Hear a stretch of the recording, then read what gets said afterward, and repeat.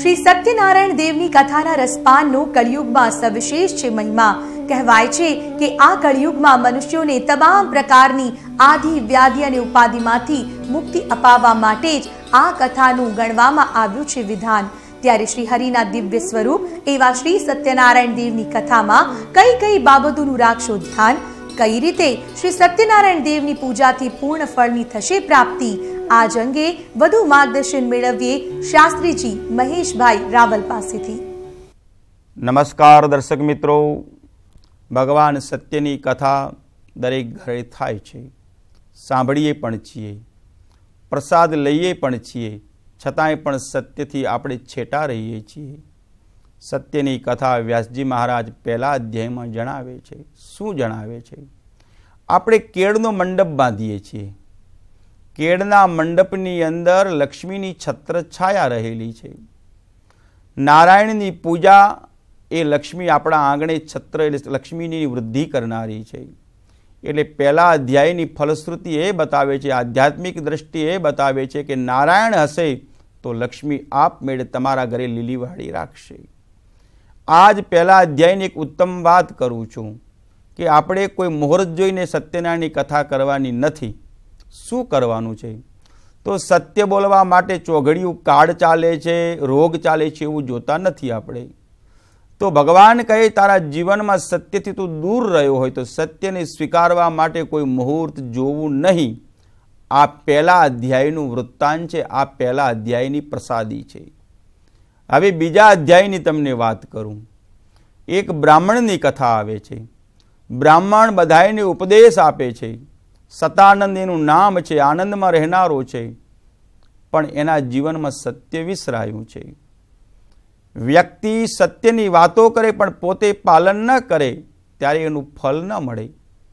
તો વ્રત કરનાર વ્યક્તિએ ફલને પ્રાપ્ત કરવા માટે સત્યને પોતાના જીવનમાં ઉતારવું, સત્ય વર્તન રાખવું સત્ય વાણી રાખવી અને સત્ય વિચાર રાખવા એ બીજા અધ્યાયની કથાની ફલશ્રુતિ છે. બીજી વાત કરું કે એમાં એક કઠિયારો છે.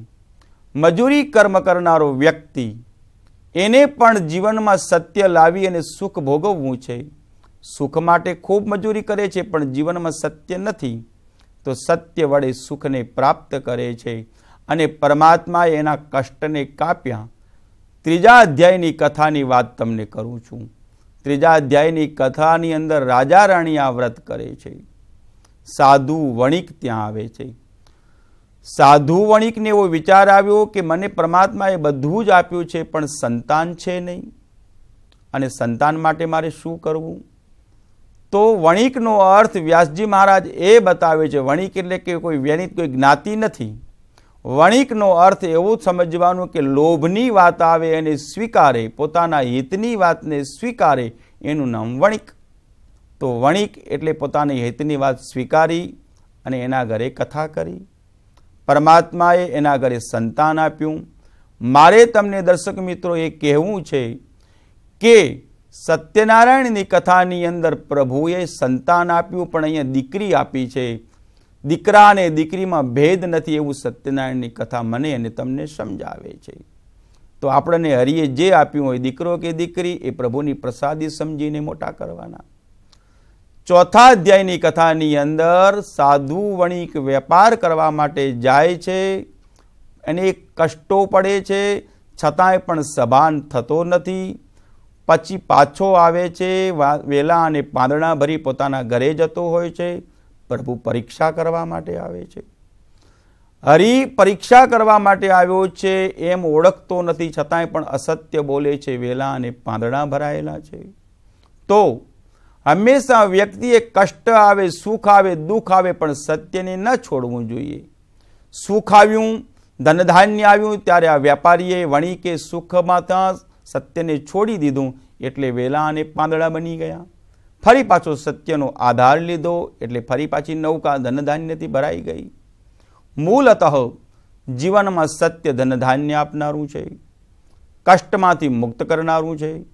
પાંચમા અધ્યાયની કથા. નાસ્તિક તુંગધ્વજ છે. ધનધાન્યના ભંડાર છે, રાજા છે, છતાંય પણ નાસ્તિક છે. કેવો નાસ્તિક છે કે સત્યને સ્વીકારતો નથી. આપ મેળે પોતે આપ ખુદી વર્તન કરનારો વ્યક્તિ છે. એને સત્યનો પ્રસાદ આપ્યો, એને દૂર કરી દીધો, કોઈ ઉપદેશ આપ્યો, આ સત્ય કહેવાય, તો પણ સ્વીકાર્યું નહીં. અને ન સ્વીકારવાના કારણે પરમાત્માએ એની સંપત્તિ હડપ કરી લીધી. જતું રહ્યું પછી ખ્યાલ આવ્યો અને ફરી પાછું સત્યનો આધાર લીધો, ત્યારે સંપત્તિ મળી છે.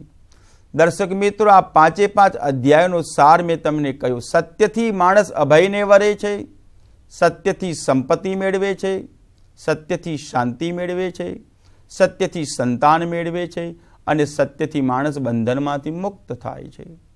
મૂળ વ્યાસજી એ વિચારો તરફ લઈ જાય છે કે જીવ માત્ર એ સત્યનું પાલન કરવું જોઈએ, પછી રાજા હોય સત્ય ન બોલે તો એ ભિખારી તુલ્ય બની જાય છે અને ભિખારી સત્ય બોલે તો રાજા બની જાય છે. આ સત્યનારાયણની કથાનો સત્ય પ્રસાદ છે દર્શક મિત્રો.